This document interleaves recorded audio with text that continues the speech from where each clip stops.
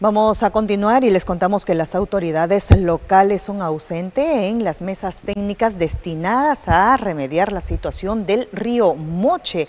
Así lo dio a conocer uno de los integrantes del comité multidisciplinario en defensa del río.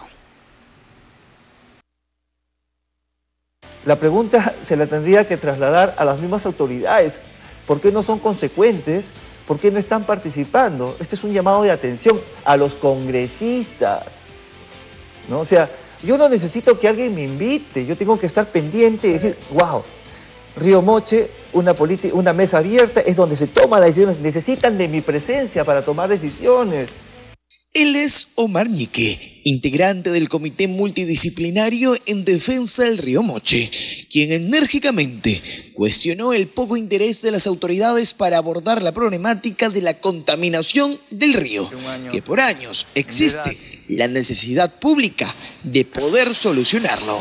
Como a través de la gerencia de salud y a través del Ministerio de, eh, de Salud también, podemos volver a levantar información de cómo está la salud las trazas de metales pesados en todos esos niños y esas personas que viven alrededor de la cuenca y en nosotros mismos que recibimos alimentación justamente de esa cuenca sin decirles que eh, de los pozos que eh, tomamos el agua nosotros ya hay contaminación e incluso respecto al río, ¿no? Es terrible. Entonces, desde el 2019 se viene luchando para contrarrestar las diferentes problemáticas que tiene el río Moche. Sin embargo, poco o nada se ha avanzado hasta la fecha.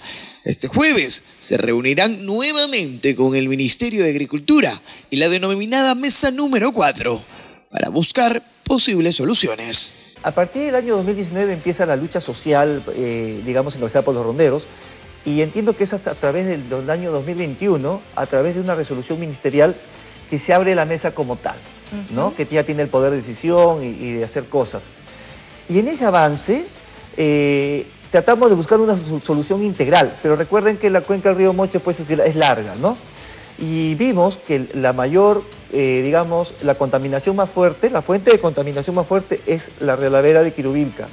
Porque esta minera fue cerrada de mala manera, la dejaron en el aire. Y es ahí donde pedimos que intervenga el Estado y el Estado interviene a través del Ministerio de Energía y Minas.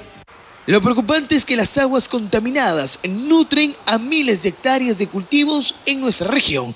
Por ende, la necesidad en que las autoridades tomen conciencia y tengan como prioridad la solución definitiva.